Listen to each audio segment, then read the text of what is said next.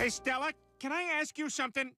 When you went deaf, did your other senses get better? No, that's a common myth. Chances are you'll be hit by a bus in the first three months. What? Oh, damn it, being deaf sucks. I'd rather be stuck on a Disney cruise. Oh, oh, don't eat the shrimp. Oh. you know, the worst part of all of this is I lost my friends. I was a complete jerk to them. I don't blame him for not wanting to help me. What? We heard you, Peter. Hey, Peter, we're over here. You gotta throw something at him. Ow, damn it! What are you guys doing here?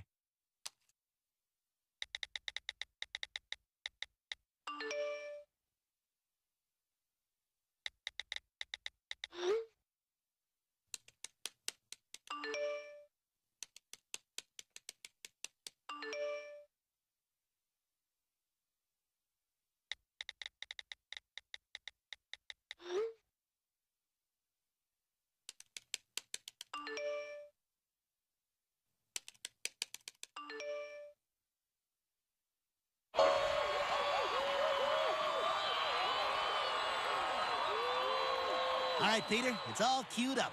Just push this button. Okay, here we go.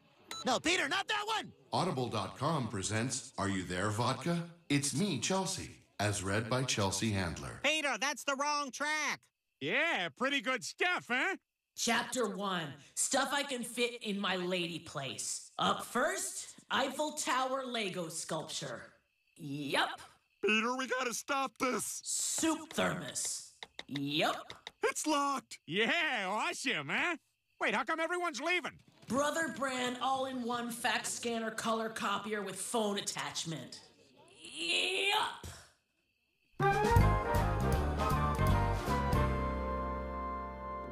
Well, bad news. Because of that audiobook fiasco, I got fired from the club. Hey, what's with your voice? Did you get your hearing back? Oh, yeah, turns out it wasn't the loud music at the clubs that made me go deaf. It was the fistfuls of Oxycontin. Well, that stinks about your DJ job. Sorry it didn't work out for you. Yeah, it's okay. I just appreciate that you guys would air for me and tried to help me out. Especially after I've been such a jerk to you. Well, it's good to have you back to normal, Peter. Now, if you'll excuse me, I'm up on Big Buck Hunter.